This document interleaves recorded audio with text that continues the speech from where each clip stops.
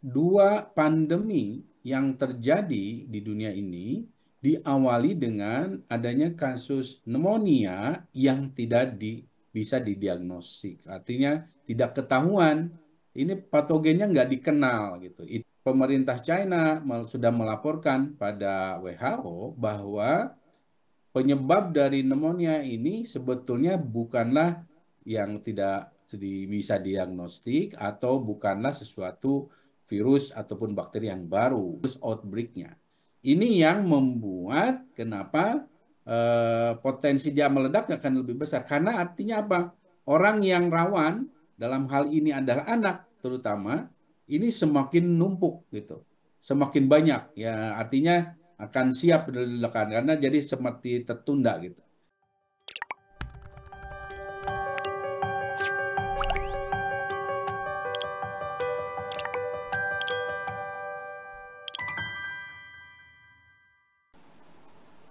Halo, selamat malam Tribuners kembali dengan On Focus Tribun News bersama saya, Apviatio Konibili. Tribuners Cina mengalami ancaman serius, yaitu terjadi penyebaran radang paru atau pneumonia misterius yang mulai merebak sejak November 2023. Mayoritas pneumonia di Cina ini menyerang anak-anak Tribuners, bahkan menyerang ribuan anak di Cina.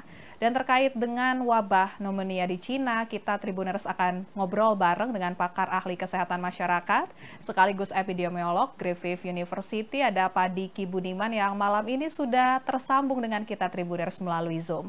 Halo, selamat malam Pak Diki. Selamat malam, Afia dan pemirsa Tribuners. Ya, Pak Diki, terima kasih atas waktunya ya Pak malam ini ya Pak ya. Kita akan membahas mengenai ada penyakit yang sedang menjadi ancaman di Cina yaitu pneumonia atau kita sebenarnya sudah sedikit akrab ya Pak ya dengan penyakit ini ketika kemarin COVID-19 sering sekali penyakit ini disebut juga, diungkap juga tapi kita juga mau tahu Pak bagaimana dengan ancaman pneumonia yang baru saja terjadi di Cina ini Pak. Boleh Pak penjelasannya Pak?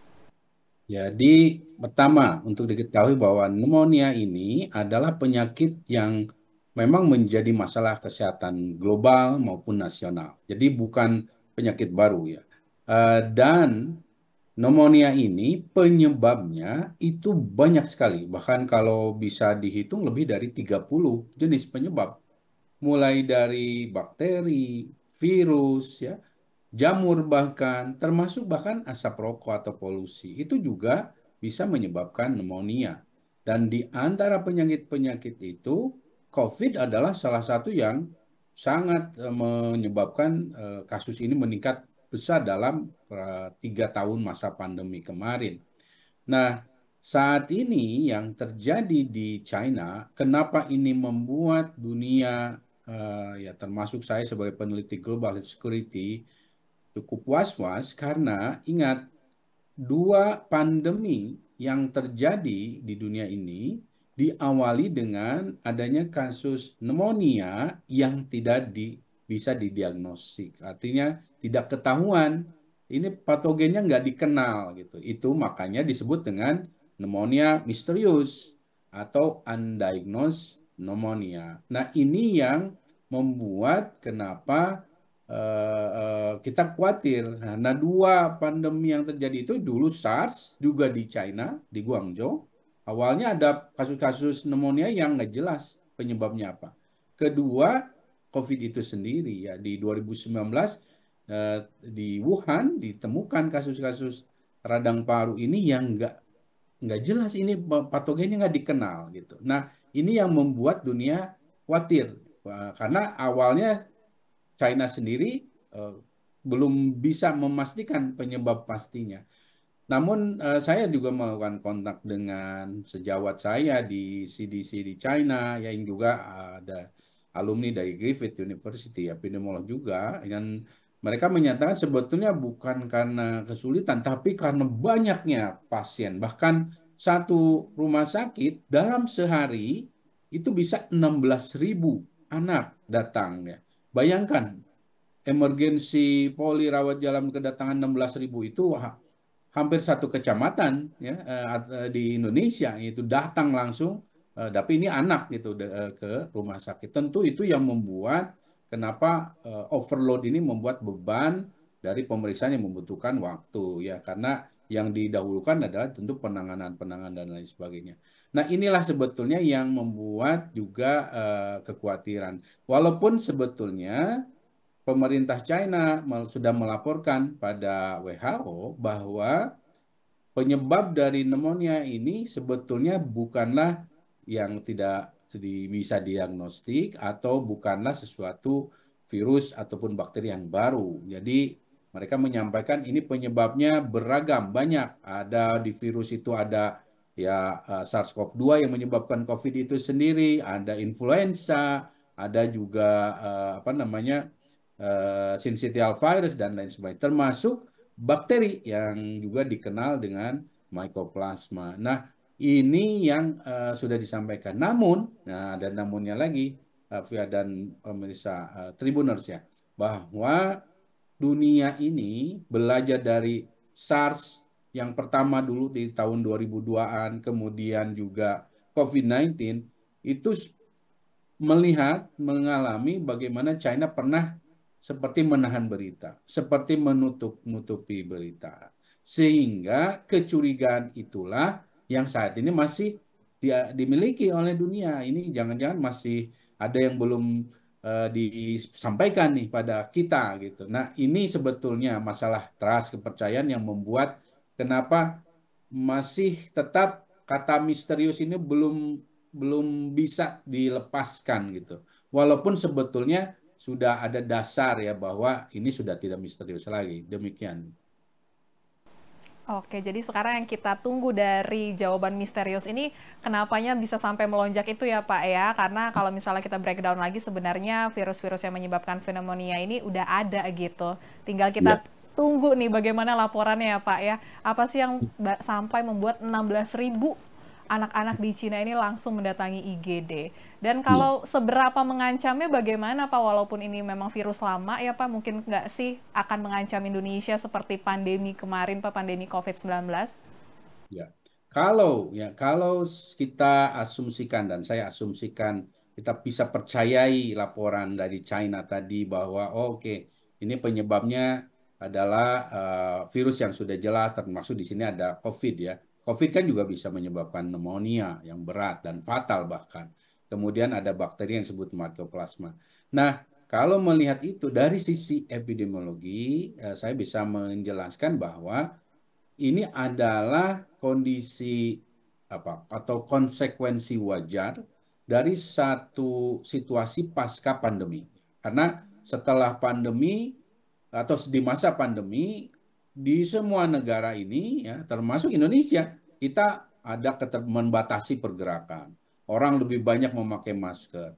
Bahkan kalau dalam konteks China lebih ekstrim lagi lockdownnya luar biasa gitu. Nah ini tentu berkonsekuensi pada menurunnya kasus-kasus infeksi penyakit pernafasan ya yang influenza dan lain sebagainya. Selain COVID yang sedang lagi naik daun saat itu. Nah, namun ingat semua infeksi saluran nafas ini ya patogen-patogennya ini sebetulnya tidak hilang karena dia sudah statusnya sudah endemik duluan daripada COVID. Sehingga kalau bicara endemik uh, cuma masalah waktu saja dia akan timbul. Makanya banyak penyakit endemik ya, termasuk misal contoh yang sangat mudah itu kalau di Indonesia demam berdarah. Dia punya siklus, demam berdarah punya siklus lima tahunan misalnya. Bahkan kalau bicara China, pneumonia, misalnya mycoplasma, misalnya, dia punya siklus di China itu tujuh, setiap tujuh tahun ada outbreak. Gitu. Nah, tapi karena pengaruh pandemi, ini turun, jadi jadi uh, apa tertunda uh, apa uh, siklus outbreaknya. Ini yang membuat kenapa uh, potensi dia meledak akan lebih besar karena artinya apa? Orang yang rawan dalam hal ini adalah anak terutama ini semakin numpuk gitu. Semakin banyak ya artinya akan siap diledakan karena jadi seperti tertunda gitu. Nah, kedua, ya, dalam konteks penyakit COVID kita tahu bahwa bahkan lebih dari 100 jurnal ya, paper ilmiah sudah menemukan bahwa orang yang terinfeksi COVID lebih dari satu kali, dia akan mengalami penurunan daya tahan tubuh atau ada gangguan dalam sistem pertahanan tubuhnya. Ini yang membuat kenapa dia akan lebih mudah terinfeksi oleh infeksi saluran nafas antara lain yang lain. Bahkan kalau bicara mikoplasma bisa 40% lebih mudah gitu. Nah, di sisi lain, setiap penyakit yang sudah menjadi endemi termasuk COVID, dia akan ya yang lainnya kan influenza segala macam sudah endemik. Dia akan mengalami lonjakan tadi ya dalam bentuk siklusnya entah satu tahun, entah berapa bulan atau berapa tahun itu dalam teori epidemiologi akan mengarah terutama dan pertama pada anak. Gitu. Ini yang menjelaskan situasi kenapa di China bahkan nanti di semua negara ya anak-anak ini yang akan mengalami atau mendapatkan serangan outbreak ini ya dari uh, infeksi saluran nafas antara lain pneumonia. Iya Pak Dikin juga mungkin bisa dijelaskan Pak kenapa ini jadi anak-anak yang ancamannya sepertinya besar sekali ya terjadi pada anak-anak Pak untuk kasus pneumonia ini Pak. Ya karena anak ini kan secara umum dia memiliki imunitas yang sangat fragile ya, sangat lemah ya.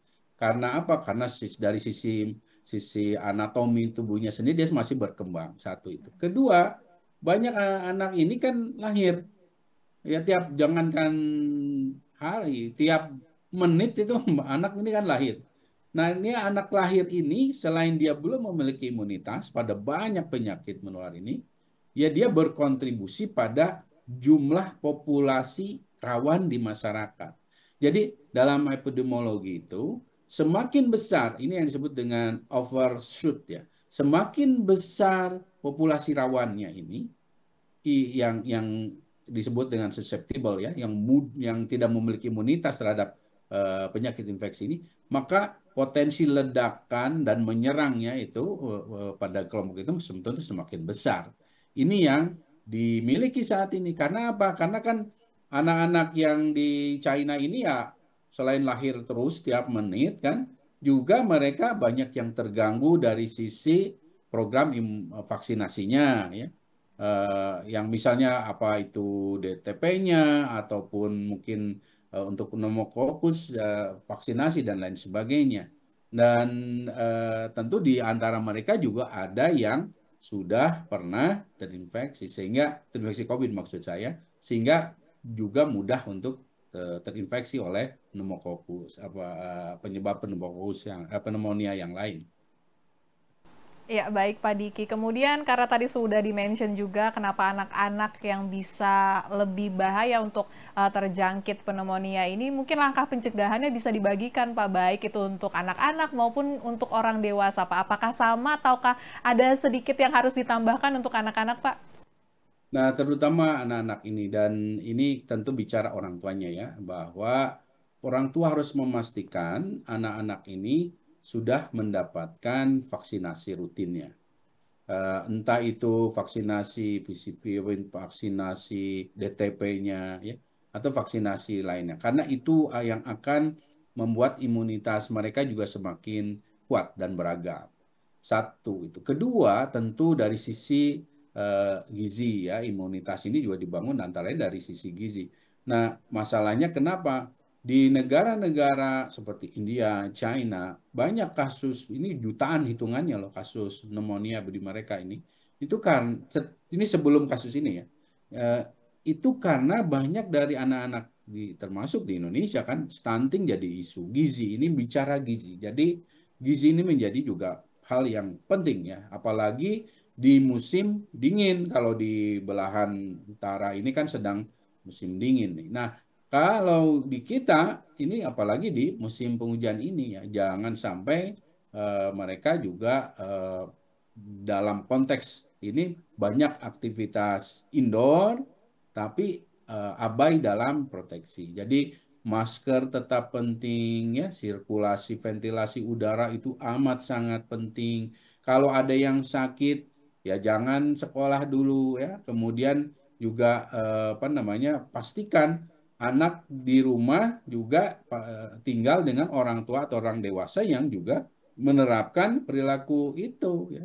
Kalau sakit ya jangan dicium-cium anaknya di jadi dijauhin dan lain sebagainya. Ini juga penting. Dan apalagi sekarang ini kan mendekati akhir tahun ya saya mengimbau orang tua ya kalau berlibur ya pilih lokasi liburan yang uh, apa lebih aman untuk anak outdoor ataupun yang tidak berkerumun ataupun apalagi kalau mau ke luar negeri nih.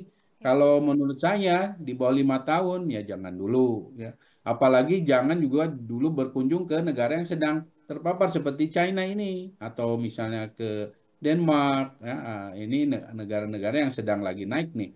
Jadi itu yang penting dilakukan. Dan tentunya terakhir ini juga uh, masyarakat secara umum dan dan orang tua ini orang-orang dewasa juga perlu me, melindungi mereka sini. Karena ini walaupun kasusnya pada anak pneumonia di China ini bukan berarti tidak akan menyerang orang dewasa bisa. Karena mereka juga dalam kondisi yang bisa rawan. Apalagi kalau punya uh, lansia ya. Lansia belum booster lagi uh, vaksinasi uh, untuk COVID-nya misalnya atau belum untuk uh, flu-nya. Nah, ini yang juga harus jadi uh, pertimbangan.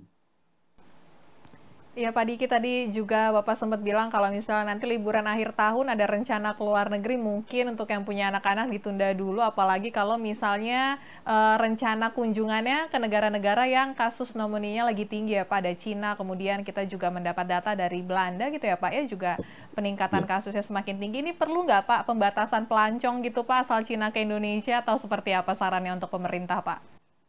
Uh, dibatasi saat ini sih belum ya karena hmm. sekali lagi dalam sejarah penyakit menular termasuk beragam pandemi termasuk terakhir waktu COVID menutup pintu itu nggak nggak pernah efektif karena ketika ada lonjakan atau kasus seperti ini di satu negara sebetulnya satu bulan kurang lebih dari sebelum itu uh, ya ini kalau itu misalnya penyakit baru itu sudah ke mana-mana jadi yang terpenting adalah penguatannya. Gitu. Penguatan di pintu masuk dalam artian berarti screening suhu sehingga bisa diidentifikasi kemudian juga diverifikasi gitu.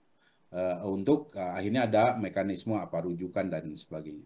Kedua, ya penting sekali penguatan surveillance ya. Surveillance influenza like illness namanya untuk uh, dilakukan oleh semua layanan kesehatan di Indonesia karena ini jadi alat semacam radar ya untuk melihat kasus-kasus yang kok kasus flu-nya meningkat nih di daerah sini ya, terutama pada anak. Nah, itu yang akan uh, menjadi catatan dan ini selalu dibandingkan dengan periode atau waktu yang sama, maksudnya bulan atau minggu yang sama dengan tahun sebelumnya. Nah, ini yang harus terus dilakukan dan diperkuat karena itu masih jadi PR di Indonesia.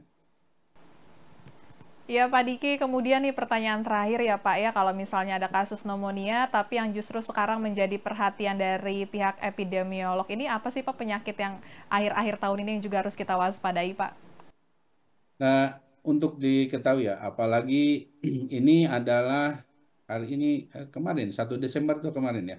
ya. Jadi ya uh, walaupun ini bukanlah berarti selalu kita khawatir tentu dalam musim dingin, musim hujan, uh, penyakit saluran nafas jelas.